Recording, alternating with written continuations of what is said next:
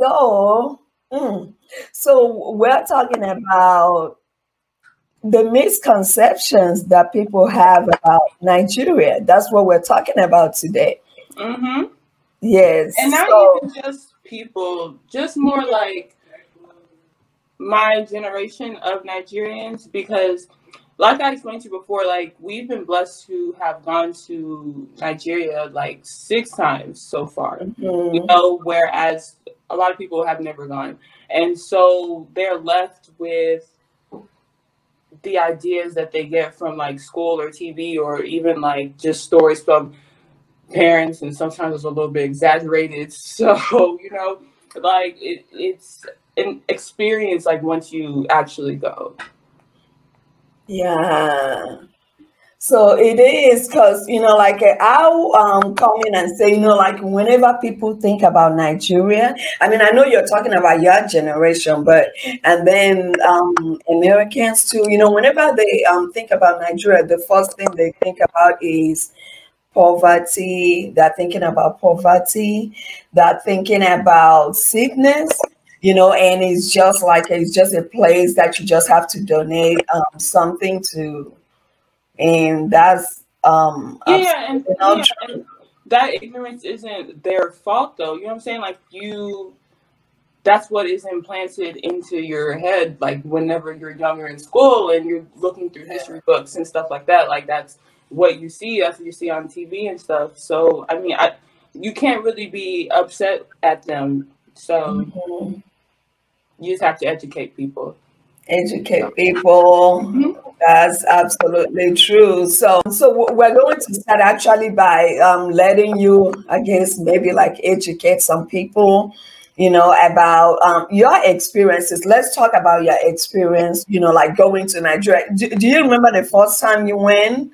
You know, actually it's actually kind of funny because i have like a great memory so i literally remember all the times that we've gone so the first time we went was probably in 2000 it was mm-hmm. just me linda blessing my mom. My dad didn't go and joshua wasn't born yet. And we literally stayed the entire summer. And i believe that was probably one of my most favorite times that we've gone because during that time like the whole kidnapping stuff wasn't like it wasn't rampant back then, you know? Like we were able to just be free and just walk around the compound and stuff like that. And um, yeah, so we were there the entire summer and um, it was just fun because it was our first time going. You meet all your aunts and uncles and cousins and everybody. So it was really just a fun time. Okay, so I mean, I know you're saying it was a fun time and everything. So, but how did you feel? I'm just saying, you know, like uh, being, um, I mean, your parents are Nigerians, but you were actually born here, so you've never been before. hmm So you've probably had stories, or maybe you haven't had any story, but you are just going in, you know, into an unknown country Territory, where you've never been. How was it? Yeah, we went in blind. Like, you know, Yeah. so of course I was believe I was like eight, seven, I was seven. And um of course like my conceptions of Nigeria, like I just remember believing like there's just like jungles and like, you know, just a whole bunch of trees. So like the first place we went to was Lagos. And that's where we Mhm, stayed for like the first half of the summer mhm. and of course Lagos City. And so like I was just kind of dumbfounded when I first, you know, walked off the plane. I was just like, oh, okay, cool. You know, like it was it was cool. Like it was like cities and buildings and of course it's not it wasn't this is 2000, so it wasn't as advanced as it is now. But it just wasn't what I expected either, you know? It was an experience for sure. And so Wow. the, the latter part of the summer is we went to uh, the country, which the village. And I Mhm. believe that was when I had the most fun because like we were just this our house wasn't even built yet. So we stayed at our grandfather's house. And so Mhm. like when you're a little kid, like everything there are no big problems, are no big deals. Everything is Yeah. games and everything. And so literally we would just be running around with our cousins like the entire time, just playing cards. Like it was Mhm. just I don't know. It was just fun. Of course, I was born there, grew up there, lived there before I came here. So I would say it is, you know, like uh, those things that um, we actually miss. Because even right now, the kids actually don't have it anymore. You know, like when when I was growing up, we used to, you know, like uh, run around, you know, like with the sand, you know, like everything. And like you said, there was no kidnapping or Mm-hmm. or anything or anybody going in with oh I have to go in with um Security security and stuff like that. and stuff like that. So we didn't have that. We just had life. You know, like at night, how we would just come out. Um, I think um gosh, I don't think my grandfather was, I don't know, I think he was probably alive. But we'll just come out with a light. There's something like uh, it used to be cold, and then they will, you know, kind of like uh, put on lights, like a burn light outside, like wood, and make it light, and we'll just sit around it, you know, like singing. I'm Oh, that's what we did for New so Year's. That's what we did for. New Year's and Christmas. Every because we now we go during uh, the Christmas time because everybody's busy during the summer, and so for Christmas and New Year's, that's literally what we do too. Oh, so you guys still do that? hmm You still have that? Oh, Because wow. we're in, the, we're in the village whenever it's Christmas and New Year's, and Mhm. so that's what we do. Yeah. Yeah, and I mean, Christmas used to be fun. I, we used to, you know, like, I, I mean, because now you just say Christmas, and I just remember Christmas used to be where we'll just, you know, like, uh, the food is cooked in one house. hmm So it's like one person cooks the food, and then everybody brings their plate, and we line it up. And you get your own food. So it was like I think that was when you know I can say we had unity. Yeah. You know, it's like it was everybody was kind of like united. Nobody was afraid of oh this person is gonna poison me or do that. So it's like they would just you just bring your we were eating from the same pot. Yeah. So that was actually the fun part of it. You know, when I remember that, I'm like, God, you know, and I miss it, you know. So it's like when people talk about, you know, like Nigeria, and they, and, you know, most people will say, oh gosh, you know, they are afraid to go because they're just thinking it's, oh, And like, that we do have that. It's, it's just a jungle, but Yeah, for sure. not And of course really. There, there are there are bad parts, of course, but there are bad parts in like everywhere. Mhm. Bad parts of Dallas, bad parts of you know like Raleigh, Garland. Like there are bad parts of everywhere, you know. But I, I don't know. It whenever we go, I honestly just appreciate like a appreciate the fact that you know parents sacrifice so much just to come to the states, you know, and provide a life for us but also like just grateful and thankful for having the opportunity to go and experience that because a lot of people can't say that at least not say they've gone like six times you know so Mhm. Yeah, and I think it is a good thing. So that's what, you know, I'm just hoping, you know, like uh, people can, people that haven't been, or people that haven't taken their children, you know, they get to go and then see that it's not really, you know, what um, people painted out here to be. That's not what it's like. Oh You have everything except even when um NEPA, I don't know if you know what that is, yeah takes the light, we still have don't like that part. generators. So so I know.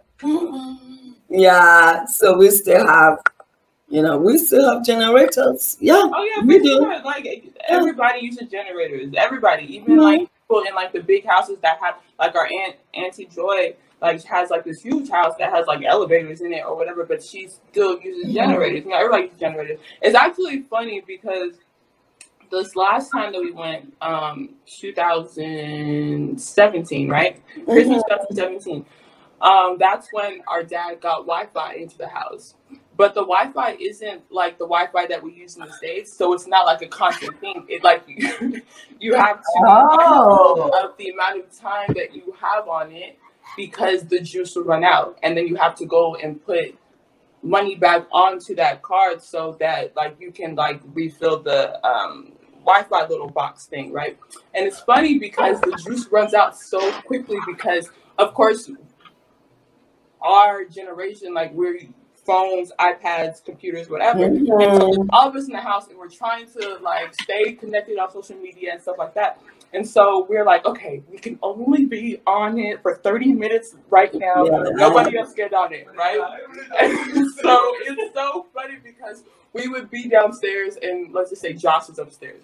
And we would know that he's using the Wi-Fi box without telling us because we would start getting all these notifications. And we're like, Josh, turn it off.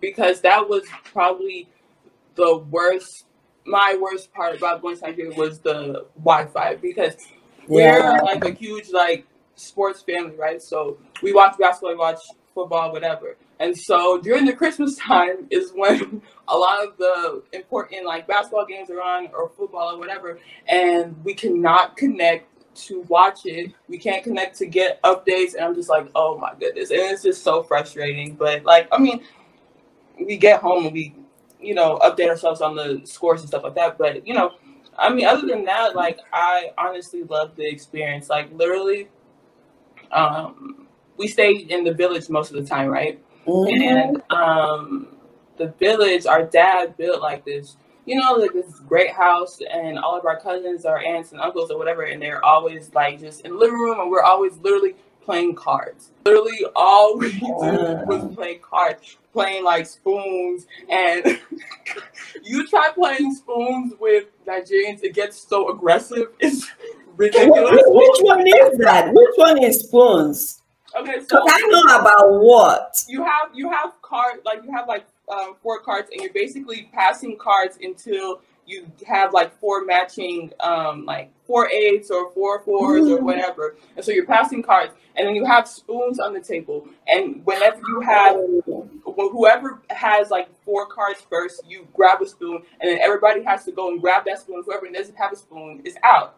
And so oh. Nigerians, we're very, very competitive. And so yeah. we're literally rolling on the floor, fighting over the spoon. Just to get it it was it, it got crazy, but like literally, it made time go by quickly, and like it was just something that we did. Like whenever Nepa would take a light or something, we would literally just have mm-hmm. flashlights and just start playing cards or whatever, and like then like come back on, and you know the time passes. Like you just you have to make your own experiences whenever you go. Like oh, exactly. the experience that you have in Nigeria is what you make it. You know, if you um are just constantly like in your room or something all day, then of course you're not gonna have a good time. Yeah, like, you exactly. have to go out and you know talk to people. And luckily for us, like our compound, like literally, again, big family, and so we have like cousins, maybe not our age, but like maybe they're like a little older, but we've known them for years. And so mm-hmm. like literally we're just like talking, talking up, just having conversations or whatever. And it's just I don't know. It's just fun. Yeah. Well, that's good Nigerian um experiences, I guess. So we talk about so we are trying to tell people that um, the misconceptions you have about Nigeria. Yeah, it's, not it's really true. It's what you make it. Yeah. Like, so just go out there and uh, see what it is like. Mm-hmm. Yeah. And, like, in Nigeria, like you have like clubs, you have like beaches. I didn't even know that they had there are beaches there until yes, our cousin. Yes, I'm just like, oh, like you know what I'm saying? Like you have to go movie theaters. Yes you have to go out and venture out and like it can really be a fun experience. Like I have some friends who literally probably go to Nigeria like every single year. You know, mm-hmm. it's something that like they absolutely love and adore. And I know um, people your age too that started now. They go by themselves. They just get up and go. We, we have to work our way up to that. I don't think I could go. You haven't gotten there yet. Just yet because I know I don't have the patience to deal with. I don't have the patience to deal with the airport drama and all of that. So we're gonna work our way up to that. But you know. Yeah. I know. Well, thank you talking to me.